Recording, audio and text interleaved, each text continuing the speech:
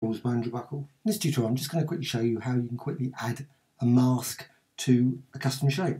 Now just remove this one, this design, this custom shape and quickly go over to the custom shape tool, use the shape option. Now I've got a shape here, these are uh, Graphicxtras ones, I'm going to select that shape and apply it like that. As soon as you do that you can see it's got an entry over in the layers and then to add a mask just go to a layer, layer mask and reveal all. So you've got a layer mask now. Obviously at this point, nothing much.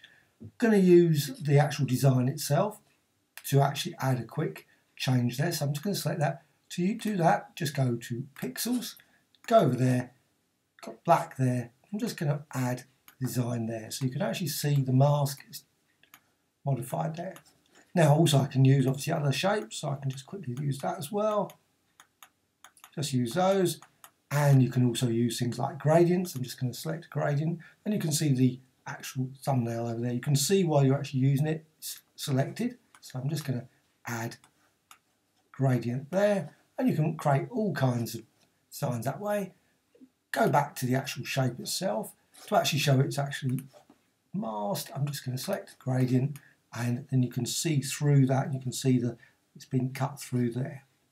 Anyway, hope you found this of interest. Thank you much.